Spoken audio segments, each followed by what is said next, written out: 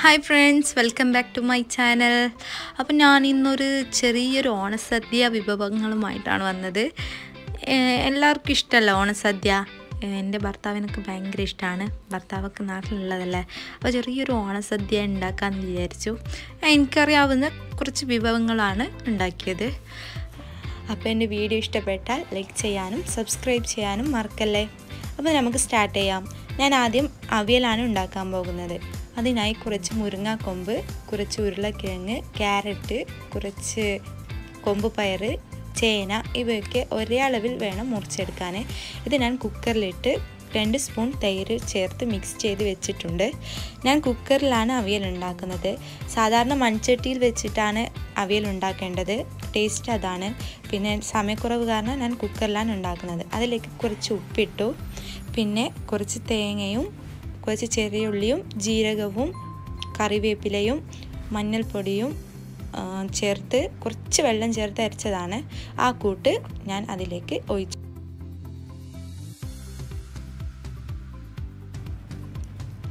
ഈ കൂട്ട് എല്ലാ പച്ചക്കറിയിലേക്കും നന്നായി യോജിപ്പിക്കണം.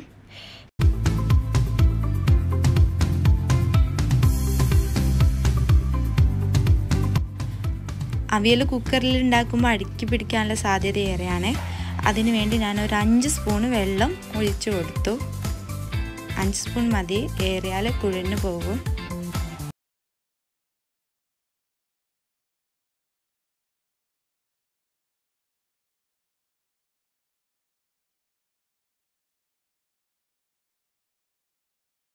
നന്നായിട്ട് വെന്തിട്ടുണ്ട്. ഞാനതൊരു മൺചട്ടിയിലേക്കാണ് മാറ്റിയത്. പിന്നെ അതിന്റെ മുകളിലേക്ക് ഞാൻ ഒരു വാഴയില വെച്ച് മൂടി. എന്നിട്ട് കുറച്ച് സമയം വേവിച്ചു. വാഴയിലയുടെ സ്മെല്ല് കിട്ടാനാണ്. പ്രത്യേക ടേസ്റ്റാണ് പിന്നെ അവിയലൊക്കെ പാകമായിട്ടാകുമ്പോൾ ഞാൻ കുറച്ച് വെളിച്ചെണ്ണയും കറിവേപ്പിലയും രണ്ടല്ലി വെളുത്തുള്ളിയും ചേർത്ത് കൊടുത്ത് നന്നായിട്ട് ഇളക്കി. ഇതിന്റെ മണം ഒരു പ്രത്യേക ടേസ്റ്റാണ് എന്നിട്ട് കുറച്ച് സമയം കൂടി വേവിക്കണം.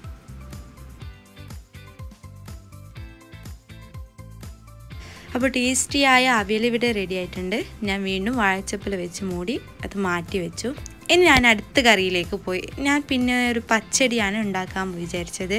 അതിനായി വലിയൊരു ഉരുളക്കിഴങ്ങ് ചെറിയ പീസസായി കട്ട് ചെയ്ത് ഒരു കുക്കറിൽ വെച്ച് കുറച്ച് ഉപ്പ് ചേർത്ത് പിന്നെ അത് വേവാൻ ആവശ്യമായ വെള്ളവും ഒഴിച്ചു കൊടുത്ത് ഒരു മൂന്ന് നാല് വിസിൽ വരുന്നത് വരെ വെയിറ്റ് ചെയ്തു.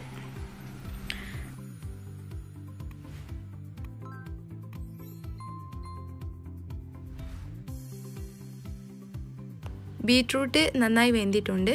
ഇത് ഞാനൊരു മിക്സിയുടെ ജാറിലിട്ടിട്ട് അരച്ചെടുക്കാൻ പോവുകയാണ്. നന്നായി അരിയണം.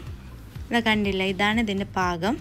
ഇത് ഞാൻ ഒരു നോൺ സ്റ്റിക്കിന്റെ ചട്ടിയിൽ വെച്ചിട്ട് വീണ്ടും ചൂടാക്കി കുറച്ച് സമയം ചൂടാക്കണം. പിന്നെ ഞാൻ ഇതിലേക്ക് ഒരു മുറി തേങ്ങയും കുറച്ച് ജീരകവും ഒരു രണ്ട് ചെറിയുള്ളിയും രണ്ട് പച്ചമുളകും കുറച്ച് കറിവേപ്പിലയും മഞ്ഞപ്പൊടിയും ഇട്ട ഫൈനായിട്ട് അരച്ച പേസ്റ്റ് ഇതിലേക്ക് ഇട്ട് കൊടുത്തു. എന്നിട്ട് നന്നായിട്ട് മിക്സ് ചെയ്തു. നമ്മുടെ തേങ്ങ കുറച്ച് വേവും വരെ വെയിറ്റ് ചെയ്യാം. കുറച്ച് വെള്ളവും ആഡ് ചെയ്ത് വേവിക്കണം. ബീട്രൂട്ടും തേങ്ങയും കൂടി നന്നായിട്ട് വെന്ത് റെഡി ആയിട്ടുണ്ട്. ഇതിലേക്ക് ഒരു മൂന്ന് സ്പൂൺ തൈര് ചേർത്ത് കൊടുക്കണം. നല്ല പുളിയുള്ള തൈര് വേണമെന്നൊന്നുമില്ല. സാധാ തൈര് മതി. പിന്നെ ഇതിലേക്ക് ഞാൻ കുറച്ച് കടുക് താളിച്ച് ചേർത്തിട്ടുണ്ട്. അതിലേക്ക് കുറച്ച് വെളുത്തുള്ളിയും കറിവേപ്പിലയൊക്കെ ഇട്ട് ചേർത്ത് നമ്മുടെ ബീട്രൂട്ട് പച്ചടിയിലേക്ക് ചേർത്ത് കൊടുക്കാം. അടുത്തത് ഒരു ക്യാബേജ് തോരനാണ്. അതിനായി ഒരു പാത്രത്തിലേക്ക് വെളിച്ചെണ്ണ ഒഴിച്ചെടുത്ത് കടുകും കറിവേപ്പിലയും ഉള്ളിയും ഇട്ട് വെളുത്തുള്ളി ഇട്ട് മൂപ്പിച്ചെടുക്കണം. അതിലേക്ക് ഒരു രണ്ട് സവാളയും കുറച്ച് തക്കാളിയും പിന്നെ കുറച്ച് പച്ചമുളകും ചേർത്ത് നന്നായിട്ട് വഴറ്റിയെടുക്കണം.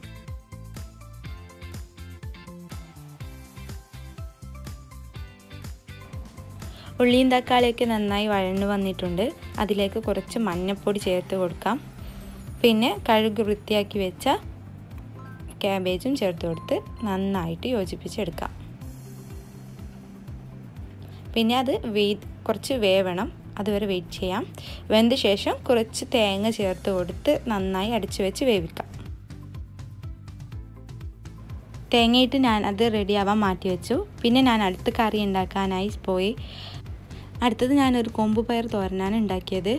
കൊമ്പ് പയർ തോരനിലേക്ക് കുറച്ച് കൊമ്പും കുറച്ച് സവാളയും വേണമെങ്കിൽ ഒരു കഷ്ണം തക്കാളി പിന്നെ രണ്ട് മൂന്ന് പച്ചമുളകും കുറച്ച് തേങ്ങയും കൂടി മിക്സ് ചെയ്ത് കുറച്ച് സമയം വെച്ചിട്ടുണ്ട്. പിന്നെ ഒരു ചട്ടിയിലേക്ക് കുറച്ച് വെളിച്ചെണ്ണയിട്ട് കടുക് പൊട്ടിച്ചെടുക്കാം. പിന്നെ ഞാൻ അതിലേക്ക് കുറച്ച് കറിവേപ്പിലയും വെളുത്തുള്ളിയും ചേർത്ത് കൊടുത്തിട്ടുണ്ട്. പിന്നെ വെള്ളം വേണമെങ്കിൽ ഒഴിച്ചാൽ മതി. ഞാൻ എണ്ണയിൽ തന്നെയാണ് വേവിച്ചത്. ഞാൻ എന്നിട്ട് ആ കൊമ്പ് പയർ അതിലേക്ക് ചേർത്ത് കൊടുത്തു.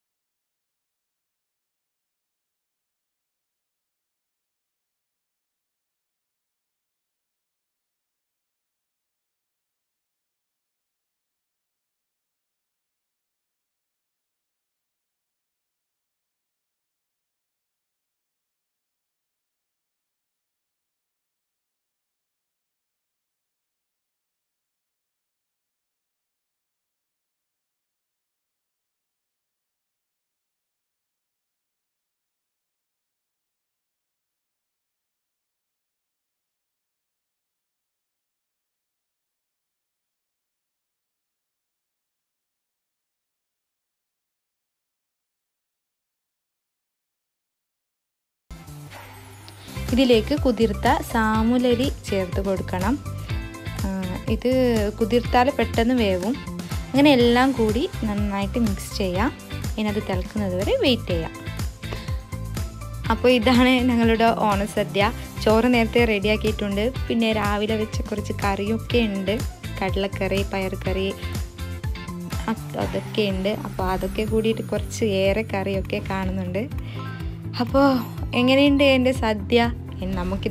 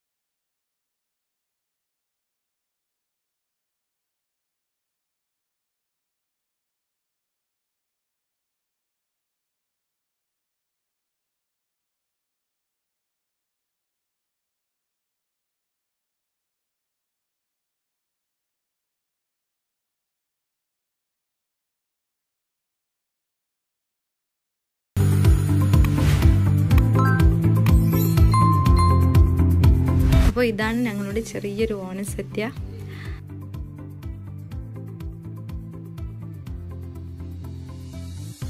ഇതെന്റെ മോനാണ്. അവന് വീഡിയോ എടുക്കുന്നത് ഇഷ്ടമായില്ല കുറേ നോക്കി.